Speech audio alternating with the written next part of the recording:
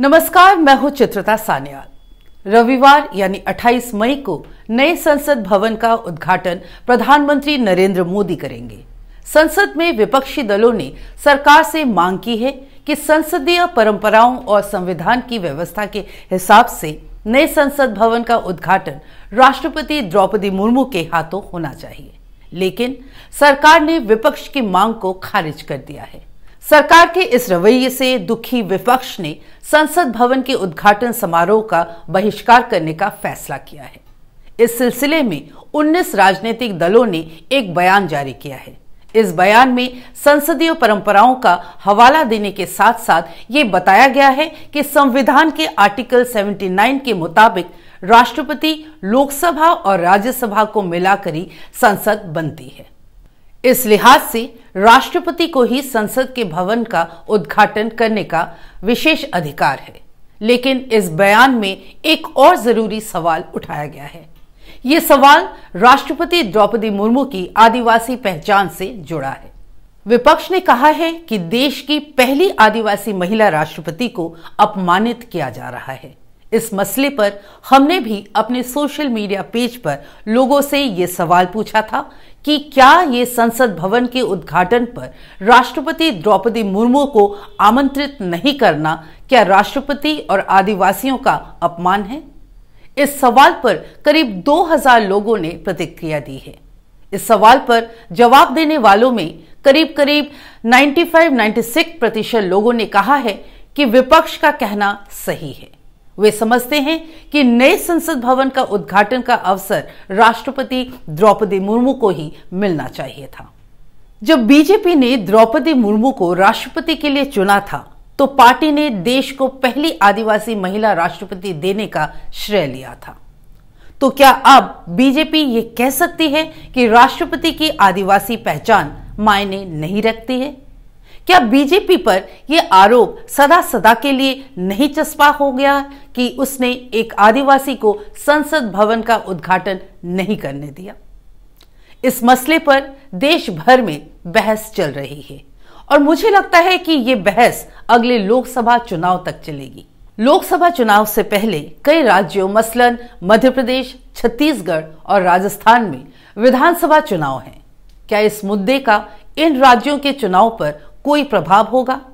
क्योंकि इन सभी राज्यों में आदिवासी मतदाता महत्वपूर्ण हैं। इन सभी बातों को समझने के लिए हमारे साथ छत्तीसगढ़ से एक बड़े आदिवासी नेता जुड़ रहे हैं। वे राष्ट्रीय अनुसूचित जनजाति आयोग के अध्यक्ष रह चुके हैं। छत्तीसगढ़ में बीजेपी के अध्यक्ष रहे थे और एक समय छत्तीसगढ़ के मुख्यमंत्री पद के दावेदार भी थे। हाल ही में इन्होंने कांग्रेस पार्टी ज्वाइन की है। जी हाँ हमारे साथ रायपुर से नंद कुमार साय जी जुड़ रहे हैं। नंद कुमार जी, आपका बहुत बहुत स्वागत है। आपको मालूम ही होगा कि संसद के नए भवन का उद्घाटन रविवार को हो रहा है और प्रधानमंत्री नरेंद्र मोदी ये उद्घाटन करने वाले हैं। जबकि विपक्ष का कहना है कि ये राष्ट्रपति का विशेष अधिकार है कि वे संसद के नए भवन का उद्घाटन करें। विपक्ष का ये आरोप भी है, ये आदिवासी राष्ट्रपति का अपमान है। आपकी क्या राय है? देखिए, बहुत सारे लोग तर्क दे रहे हैं, पहले ऐसा कभी नहीं हुआ, ऐसा अलग अलग जगह का उदाहरण प्रस्तुत कर रहे हैं, बीजेपी की तरफ़। कल से ही हमने इस विषय पर को उठाया है। हमने एक पत्र लिखा है प्रधानमंत्री जी को, और हम उसमें हमने उसमें कहा है कि अगर द्रौपदी जी को तो बनाया आपने राष्ट्रपति। और देश का जो संसद भवन है, वो संवैधानिक भवन किसी दल का नहीं है। और राष्ट्रपति जो पद है, देश का संवैधानिक प्रधान पद है। और इसलिए अगर पहले कभी ना किया गया, लेकिन पहले तो कभी जनजाति समाज, आदिवासी समाज से कोई राष्ट्रपति भी नहीं हुए। तो राष्ट्रपति तो अभी हैं, आपने बनाया और इस कारण से अगर इस समय माननीय राष्ट्रपति महोदया द्रौपदी जी से इस संसद भवन का जो देश का संवैधानिक भवन, उसका अगर लोकार्पण करा दिया जाता तो सबसे अच्छा होता। ऐसा हम लोगों की मान्यता है। और इसमें किसी को पीछे करके, किसी को आगे कर कर रहे हैं ऐसा बात नहीं है। कई लोगों का तर्क है इसमें कि ऐसे पहले तो नहीं हुआ तो पहले कभी नहीं हुआ तो कुछ नई बातें भी तो हो सकती हैं। जो नहीं हुआ है, अब नहीं हो सकता, ऐसा कहाँ से? मैंने एक पत्र लिखा है। इस विषय में वो भी काफ़ी वायरल हुआ। और हमने यही सब बातों को लिखा कि अगर माननीय राष्ट्रपति महोदया द्रौपदी जी से इस संसद भवन का लोकार्पण होता, वो संवैधानिक प्रधान है और इस संवैधानिक भवन बहुत अच्छा होता और मैंने उनसे निवेदन किया, पत्र भी लिखा, उसको वायरल भी किया है। लेकिन अब क्या होगा, ये हमने तो कहा है उनसे और उस पर बहुत, बड़ी बहस चल रही है। मुझे नहीं लगता वो कराएँगे कि नहीं कराएँगे, लेकिन विषय को रखा गया है और काफ़ी प्रचारित हुआ है, बहुत डिस्कशन हो रहा है, बहुत सारे लोगों ने इस विषय को उठाया है। इसको लेकर के अनेक राजनीतिक दल उस लोकार्पण कार्यक्रम में जाएँगे कि नहीं जाएँगे, वो तय कर, नहीं कर पा रहे हैं। कुछ लोग उसका बहिष्कार करने वाले हैं। ये भी बात आई। इसलिए ये चर्चा तो चल गया है। मैंने अपना अभिमत प्रस्तुत किया है कि अगर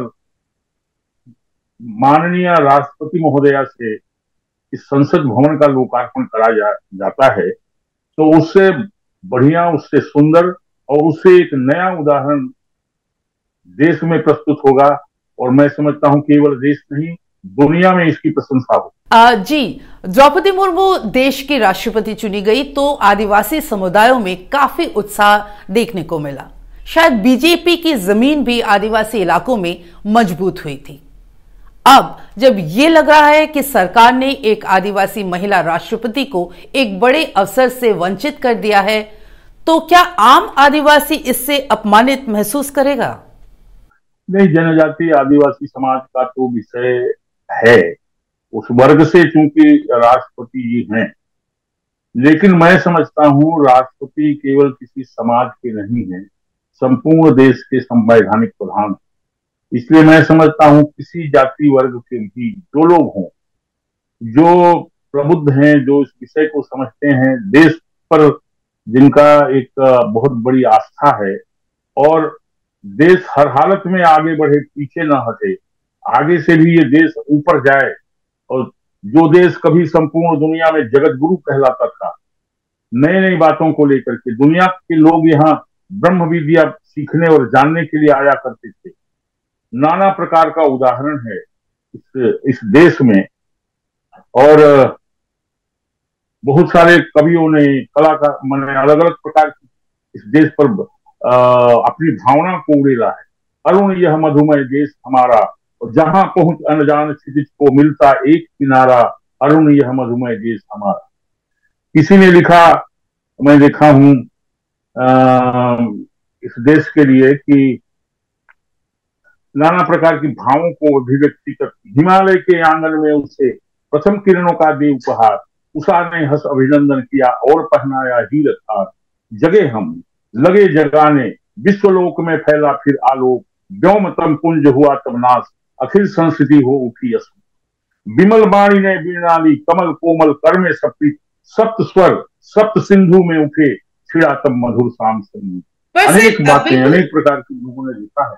जी तो हाँ। मैं समझता हूँ इस समय अगर माननीय राष्ट्रपति महोदया द्रौपदी जी से इस संसद भवन का लोकार्पण कर जा किया जाता तो मैं समझता हूँ एक नया इतिहास एक नई प्रतिष्ठा इस देश को नए सिरे से मिल प्राप्त होगी। ऐसा मुझे आ, मेरा सोच है। लेकिन अब कुछ लोग लोभ संवरण नहीं कर पा रहे हैं अब कैसे करो मामला ये है कि अगर हम बनाए हैं तो हम ही करेंगे या जो भी बातें हैं। लेकिन मैं निवेदन करना चाहता हूँ माननीय माननीय प्रधानमंत्री जी बहुत वरिष्ठ बहुत सीनियर हैं। हम लोग लंबे समय से उनके साथ काम संगठन में भी संसद में। तो अब उनके समझ पर निर्भर करे। बाकी और कोई तय नहीं कर सकता। हम लोग चर्चा कर सकते हैं।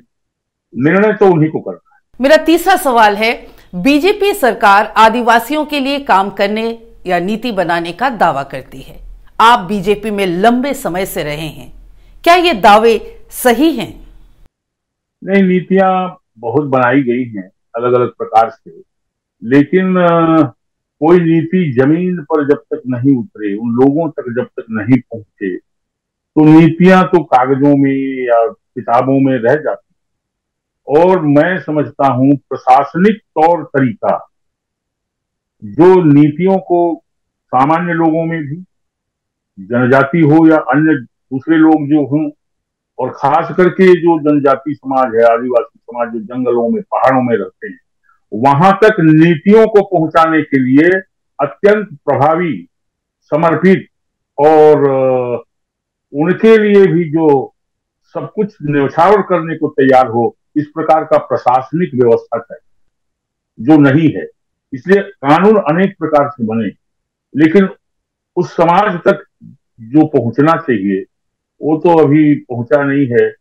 हम बहुत चिंतित हैं ये जो जनजाति समाज में प्रिमिटिव टाइप में है कोरवा कमार बिरहोर पंडो बैगा ये प्रिमिटिव टाइम है इसके इन्हें कहा जाता है मा, माननीय राष्ट्रपति महोदय के दत्तक पुत्र। ये समाज अभी इस समाज को कैसे बचाया जाए? समाज में बहुत सारी कुरीतियाँ हैं शराब पीने की प्रथा लंबे समय से है। उसके कारण ये समाज बहुत मैंने कहीं मैंने सौ दो सौ लोग हैं कहीं पचास लोग हैं कहीं कुछ लोग हैं। इस समाज को बचाया कैसे जाए? बड़ी भारी चिंता है। और ये सबसे बड़ी बुराई है समाज में शराब पीने इस समाज में आप कभी देखे जाएँगे किसी गाँव में तो तीस पैंतीस साल से अधिक उम्र वाले लोग नहीं है। ये बड़ा चिंता का विषय। इसलिए समाज में कानून तो जो बनाए हैं वो कैसे पहुँचे? जी, जी, उससे भी ज़्यादा ज़रूरी है कि समाज को कैसे जी नंद कुमार साय जी आप बीजेपी के बड़े नेता रहे हैं। पार्टी का ये दावा है कि वो आदिवासी समुदायों और नेताओं का सम्मान देने का काम कर रही है। इसमें कितनी सच्चाई है? मुझे तो पूरा सच्चाई दिखता है। क्या है देखिए श्रीमान अटल बिहारी वाजपेयी जी ने दो हज़ार में तीन राज्य बनाए थे बड़े बड़े राज्यों को छोड़ भूगोल में सबसे बड़ा राज्य था मध्य प्रदेश आबादी में सबसे बड़ा राज्य उत्तर प्रदेश। और इसी तरह से दोनों का मिला जुला बड़ा राज्य था बिहार। बिहार को तोड़ करके झारखंड बनाया उत्तर प्रदेश को तोड़ करके उत्तराखंड बना और मध्य प्रदेश को तोड़ करके छत्तीसगढ़ बनाए और ये छत्तीसगढ़ और झारखंड, इसको तो कह सकता हूँ कि जनजातीय बहुल क्षेत्र है।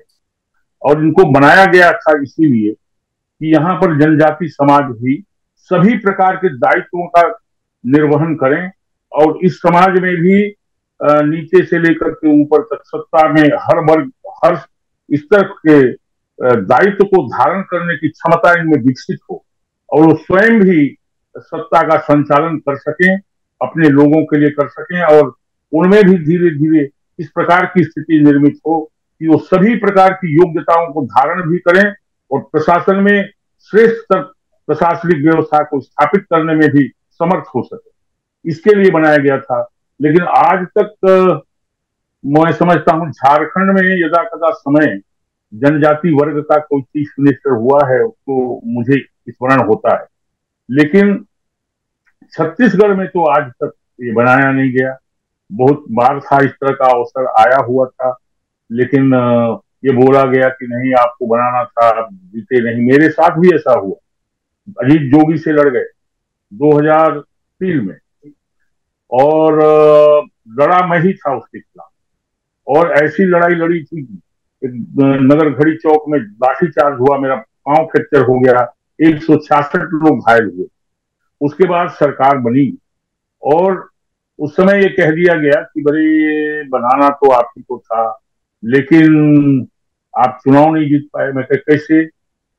जोगी से हम लड़े थे। दूसरा जगह मैं बोला था कि मरवाही से हम लड़ करके प्रदेश को जिता देंगे, जिससे सरकार बने। लेकिन हम वहाँ चुनाव नहीं जीते। प्रदेश का वो मुख्यमंत्री है और किस प्रकार के आदमी है वो आप सभी जानते हैं। चुनाव जीत के आऊँगा मैं अपने क्षेत्र तपकरा से लेकिन इन्होंने षडयंत्र ये किया बीजेपी। मैं वहाँ फार्म भर के आया तपकरा विधानसभा वहाँ टिकट नहीं दिया गया। और खाली हम लड़े मरवाही से। और वहाँ जीतने का तो सवाल नहीं था, लेकिन हम लड़ करके सरकार बना बहुमत में भारतीय जनता पार्टी आ गई। फिर कहने लगे, अरे, आप ही को बनाना था, लेकिन आप चुनाव नहीं जीत पाए। मैंने कहा, मुख्यमंत्री बनने के लिए पहले से चुनाव जीतना कहाँ ज़रूरी छह महीने में आना है, संविधान में ऐसी व्यवस्था है। आप क्यों नहीं कर सकते हैं? जबकि दीवार लेखन में नारों में पोस्टर में पंपलेट में सब जगह लिखा था कि अगर हमारी सरकार आई भारतीय जनता पार्टी की तो यहाँ जनजाति मुख्यमंत्री होगा और नंद कुमार साय मुख्यमंत्री बने वो लिखा हुआ पड़ा था सब। नहीं तो, बनाया गया।